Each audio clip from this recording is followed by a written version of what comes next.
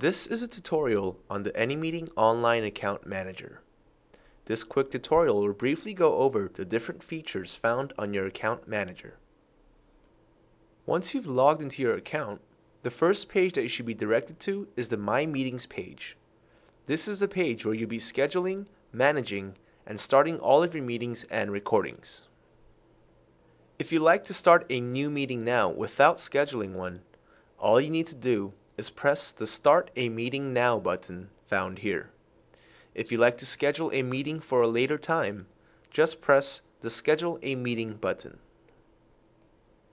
Any upcoming meeting that you have scheduled will appear right here on the Upcoming Meetings tab.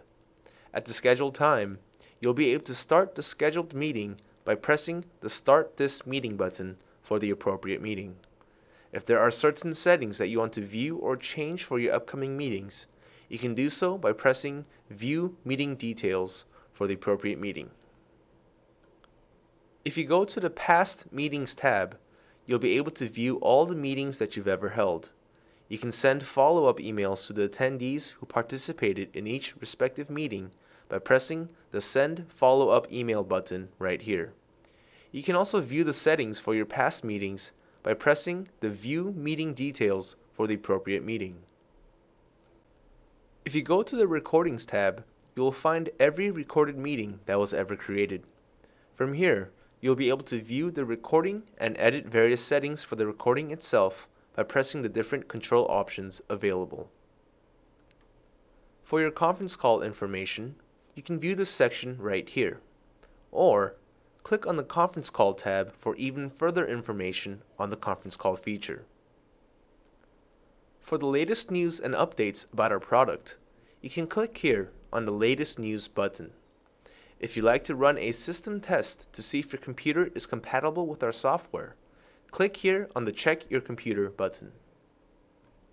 If you go to the Public Profile page, from here you'll be able to edit the information shown on your public profile as well as being able to connect your AnyMeeting account with select social media services such as Facebook, Twitter, or LinkedIn. When you click to the Account page, under the Contact Information section, you'll be able to change the information that pertains to your account by pressing the Edit link. Look below to the Account Management tab and you'll find your current subscription plan for your account. By default, users will automatically have the ad supported plan added to their account. But should you want to upgrade your plan to remove ads from being shown during your meetings, all you need to do is press the Remove Ads button for the appropriate ad-free plan.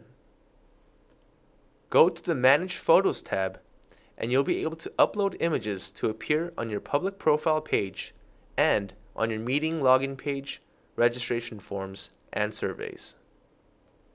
If you have any technical support issues or inquiries, click here on the support page for a whole slew of online support options. That's it for a quick tutorial, and thank you for using AnyMeeting.